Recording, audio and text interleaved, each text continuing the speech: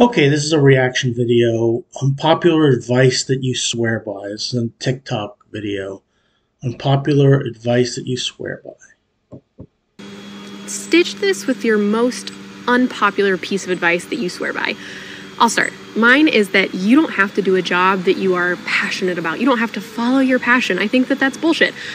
It's great if you want to, but also it is just as valid to get a job that pays really fucking well so that you have enough free time and money to actually do what you're passionate about. Like, I tried to be a freelance writer. I was working my ass off and I still didn't break like $30,000 a year. But I make more now working part time than I ever did as a freelance writer. And I get to write what I want when I want, and I'm happier and I have more money to do other things. Like, that's a win most. Yeah, that's a win, but um, who says you can't do both? Maybe you, what you're just passionate. I mean, if you're talking about money and money is the most important thing, then maybe you can't follow your passion. Depends on what your what, what your. I mean, if your passion is banking, or uh, uh, you know, doing doing things you know, that that pay well, then you know, maybe you can do both unpopular piece of advice that you swear by? If it's not a fuck yes, it's a fuck no. And you may be asking, what situation does this apply for? All of them. Let's start with a small example. You're clothes shopping, you find a top, you're like, should I get this? If you're like, yeah, I'd wear this on a Tuesday when it's raining, and as long as I don't feel like my arms look fat that day, don't get the top. You're not gonna feel like a goddess every time you put on that top. There's no need spending money to bring that energy into your life. A bigger Boy, this girl's thinking a hell of a lot more than I ever would about anything like that. Example, should I date this person? If this person makes you smile and you want to see them every day and they make you feel like the best version of yourself, that is a fuck yes. And if it's anything well, I don't know if I need to add the F bomb there, but I, I, I think that that's true for anybody. Anything less than that is a fuck no, baby. Yeah, I, I Stitch yeah. this with your most unpopular piece of advice that you swear by. Stay with them. You know that super toxic relationship that you're in and you constantly try to leave and it like the relationship just won't allow you, you keep getting sucked back in and like everything in you wants to leave but you just never do. Stay. Stop fighting it and stay. Because like like like you're addicted to drugs you're addicted to them. And until you hit rock bottom you're never going to stop going back. Until you i guess what she's saying is that if you're in a toxic relationship and you keep going back to said toxic relationship just don't get out. Don't get out and go back. Don't get out and go back. Just stay there and until you hit rock bottom. I don't know if that's the best advice I would give somebody in that scenario, but I suppose I'm assuming you're not getting the crap kicked out of you every five seconds. Uh, they aren't uh, physical on you, then I guess you probably could still do that. That's some advice. I don't know if it's the best advice or the most sound advice, but. You finally realize why you can't go back. You're going to keep going back. So keep going back. Go back, stick through it, and guess what? When you are full, you will get up. Like that's a quote I seen and is what I live by. The day you've had enough and you realize you are full, you will get up and you will walk away. And that will be the day you never go back. So go back. This is really detrimental and it could really fuck you up in the end. So, like I said, it, it, it it's a terrible piece of advice, but it worked. yeah, it's a terrible piece of advice. Stitch this with your most unpopular piece of advice that you swear by? Do it. You know that idea that you had that you definitely shouldn't do? That person that you really shouldn't hang out with? Do it, because how else are you going to be the main character? Stitch.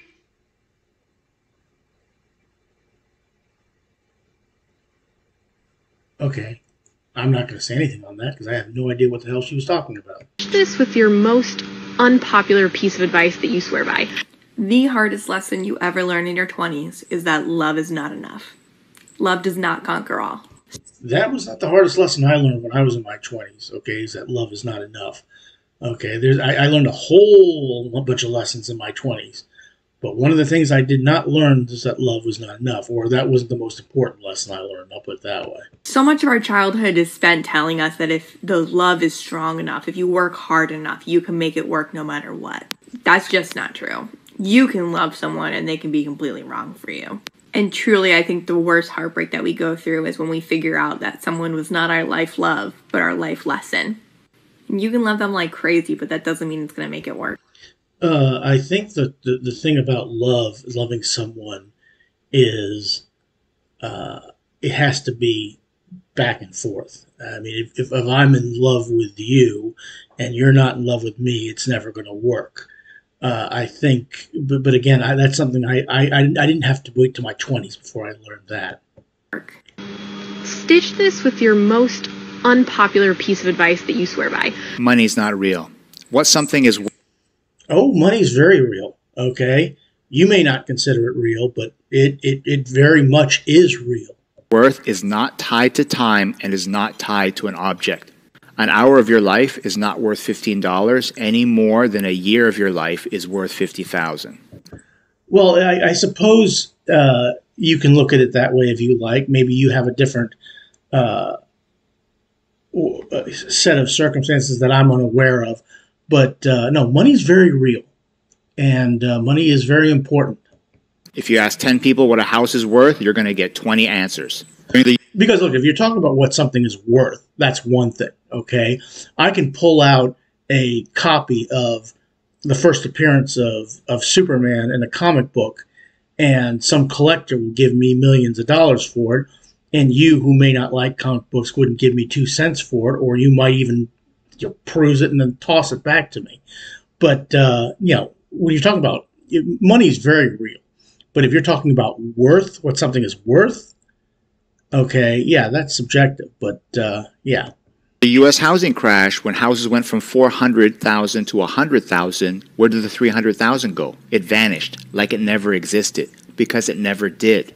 yeah, no kidding. Okay, but you're talking about worth. Okay, look, it's like here's it's like wh- whenever the stock market goes down. Like if you, if you, if you have you know you know you know fifty thousand dollars worth of stock and the stock went down, now it's twenty five thousand dollars. You say, well, you lost twenty five thousand dollars. No, you didn't. Okay, all it did was just it just devalued, and it might go back up. That's why you don't touch the stuff. Okay, or you sell when it's high and you buy when. eh, Come on. And in the last 10 years, when house prices went from 100 to 400, where did the extra 300 come from? It wasn't like someone came by and gave it to the homeowner. It appeared out of nowhere. School won't tell you this, but the value of something in terms of money is tied to your feelings. Society is ha- happy, the price goes up. When society is sad, the price goes down.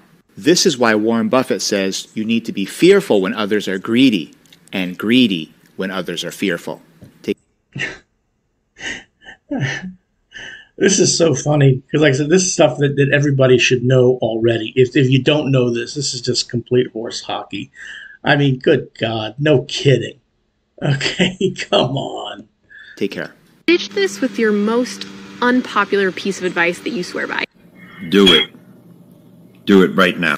I think about all the times that I stood over a casket and remembered all the plans that we had, but we never made the time to actually do it. Something else was always more important. Or people who think they have to wait endless amounts of time to move in together or to get married.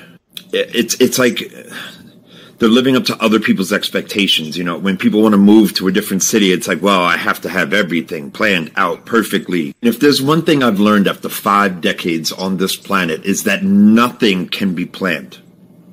Uh, you, you can do a little bit, you can have a little nest egg, but y- you can't predict. People die, things happen, jobs go south, money gets spent. If you living in Ohio and always wanted to live in New York City, get the fuck to New York City. If you're in love with somebody, want to be with them forever, go be with them forever. Do what you want to do.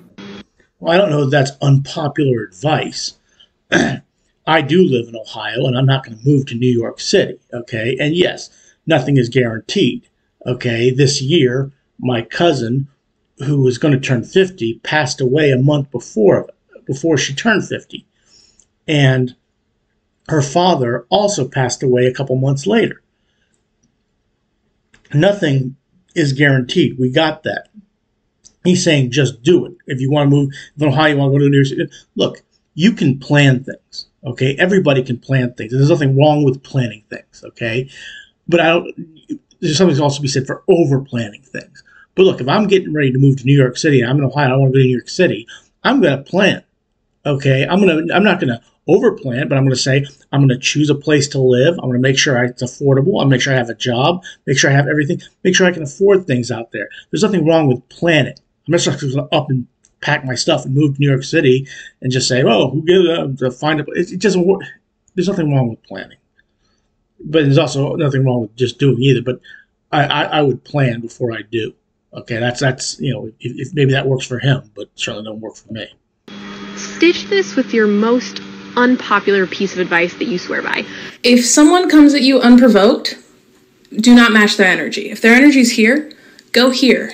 End it. Finish them. One and done. That's all you have to do. What if they're well? Are they confrontational? Is that what you're talking about? Because if I'm coming in at to you and I'm, you know, you know, all uh, high and low, you is that what you're saying? I, I don't understand what you're saying. And it's like two wrongs don't make a right. It makes me feel better. Well, as it makes you feel better, then I guess it's good. But I, I, I really, if somebody comes at you and don't match their level, okay. But why are they coming at you? Are you talking about that they're going to go f- get physical or, or verbal or get into an argument with you?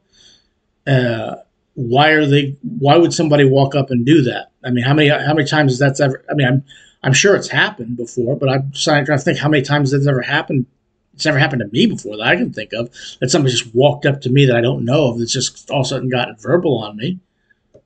Because I wasn't bothering you. Why the fuck did you come at me?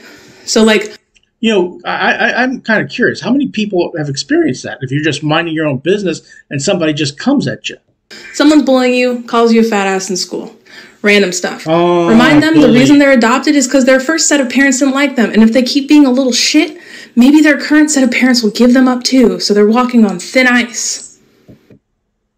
I guess she's talking about bullying, but uh, okay.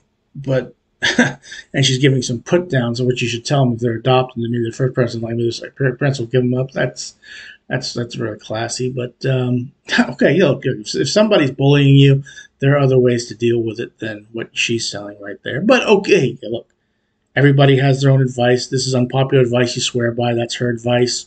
Okay. End it. Bring a gun to a knife fight. Old woman in the store starts talking. I believe she's talking metaphorically, not actually. If somebody pulls a gun, a knife at you, make sure you. Well, maybe she is talking about having a gun. I don't know. Mad shit for no reason. Remind her that she should have learned in the Cretaceous. I kind of. I also get you know not that I'm. You know, I think she's probably talked about stuff that's happened to her. Okay, I think I, it's safe to say she's talking about things that have happened to her, not necessarily everybody else. And I hope- period. And I hope she hasn't brought a, a gun to a knife fight, or a, a knife to a gunfight, or that she's actually bought a gun. when she went to kindergarten that she should have learned not to talk to strangers. She didn't because she's stupid. Remind them that they're stupid. in kindergarten, you tell a five year old, uh, "You're stupid." That's that's really going to go over well. End it. Yeah, I don't know about any of this stuff. I mean, like I said, this is this may be a little bit over my head. Maybe uh, I've lived too long and I don't understand what the young, young people, you know, the stuff that uh, you should learn in your twenties that I learned well before my twenties. Uh, uh, money isn't real uh, when it, it's very much real. Uh, and well, okay. Unpopular advice that you swear by. That's what this is. And these are people that swear by their unpopular advice. And I'm just reacting to it. I'm not perfect. I'm not going to claim I'm perfect. I'm just reacting. But is what it is. Uh, please click like, share, and subscribe, and have a good rest of your day. Thanks for watching.